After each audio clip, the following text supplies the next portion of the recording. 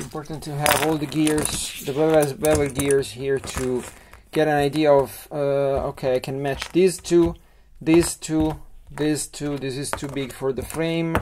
Uh, using this one might not be easy in this case.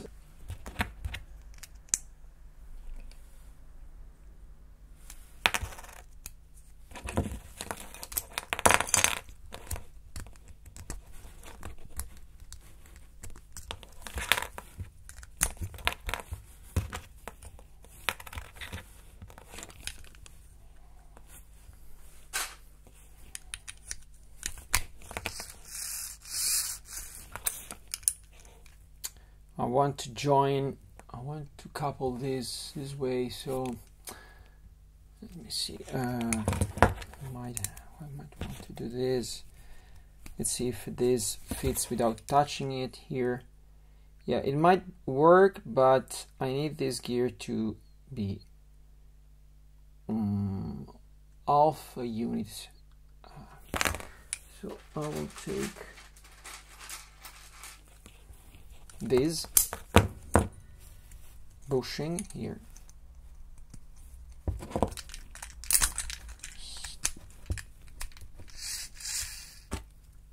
And this is now aligned. Now let's see if I can just attach the plate here and have it working or not. So I will grab two plates. One two and then stick this over. And they should match. Oh, yeah it works now problem is as long as soon as you touch this it will get detached. So here the idea is we have to use a reinforcement technique technique called bracing. This is one of the cases where you have to deal with the constraints of the assortment. So one one thing is I could use these together with another pin and using a particular uh, geometry that it's also shown in my book you, you can couple this you have brick plate plate brick. At this point this cannot come off anymore. This is called bracing.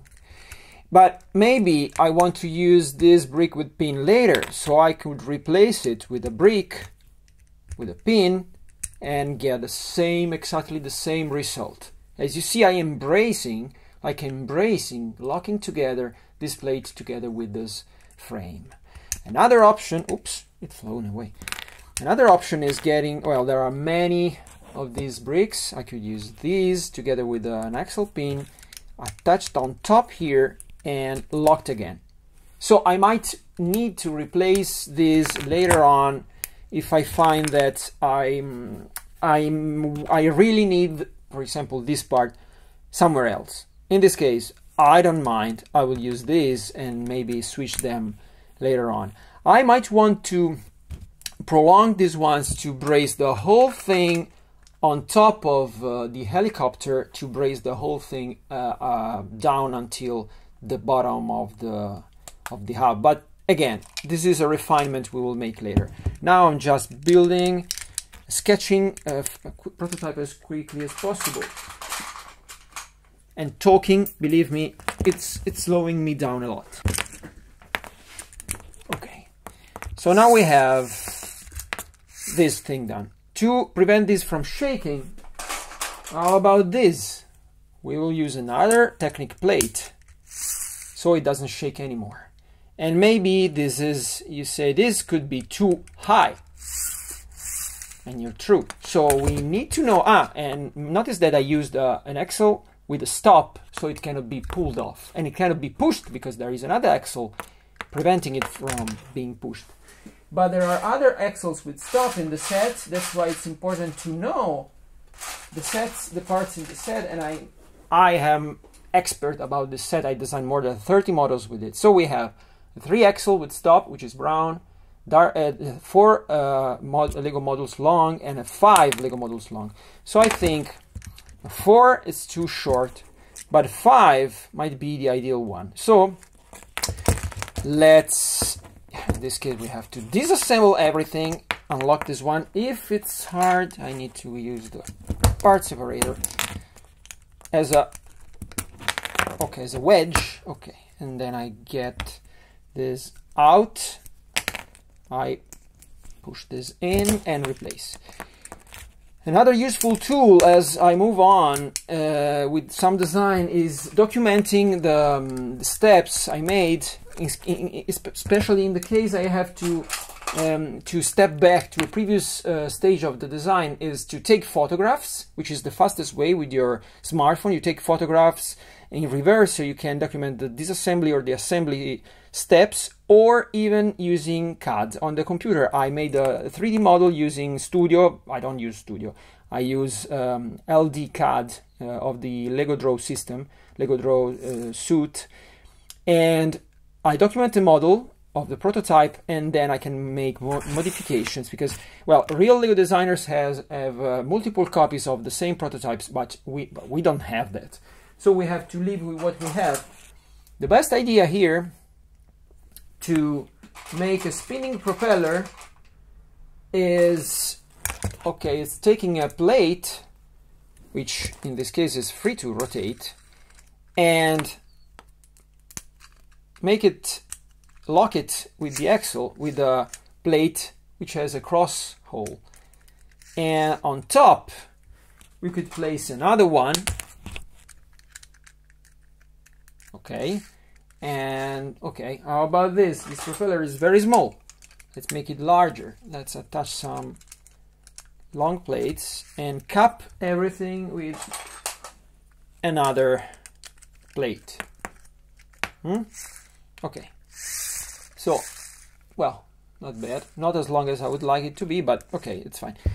We could cap it with uh, this dish to make it look a little nicer so I can touch this. Ah before I go on we need to find a way to, uh, to press this even if I cover this up. And I have an idea well I have a let's say a design that I made in the past. So another useful way to design things is to build yourself in your mind or taking notes a sort of um, a sort of how to say it, um, a recipe book of ideas that you can recycle on and on. Access this button using a lever. So this is a design I made and I keep using it because it's works very good. So I use these and when I rotate the axle this turns on. So it's flashing blue because I think I have the Pybricks firmware flashed onto this hub. Okay, and now here I can access uh, the start button from the outside, even if I don't see the button anymore. So I can attach something on top whenever, wherever I want without any problem. So you see um, that it's hidden now. I could even make this lower because now it's too bulky and the whole helicopter would be too bulky maybe and the propeller is too too low. I might even put this back but that's for a later design stage. So okay let's leave with what we have now or maybe we can use no these are wasted here you know why? Because I need a longer tail. So how about this? I detach this so you see that I'm discussing with myself in this case and see that I have to improve the design. So I need to step back. This is a small step back so I don't have to document anything but in case you need to make a huge step back you have to document what you did otherwise you might find yourself forgetting a very good idea and blaming yourself for doing it okay so again as before much better ah much better you see okay less bulky still working and now it's locked it doesn't go up it just go down so now, okay, we can live with what we have. We can make this taller, cap this off. Okay, now let's make the tail a little longer. To prolong beams, I'll show you how to do it. So you have a brick here. You take some black pins and you want to put the pins so they overlap at least two holes but these are not enough because we want the tail to be stronger. So so at least use three holes. So pin space pin and attach it here like so. So you get a, a long a long tail. Hope you can see it. Okay. So, and we can make this uh, helicopter are not symmetrical but let's make it not always symmetrical. In this case I want to well we could also couple these two beams together with pins again to make them a little stronger. Uh, now I don't know where to put the where okay let's try like this and then let's see if I have to move this away.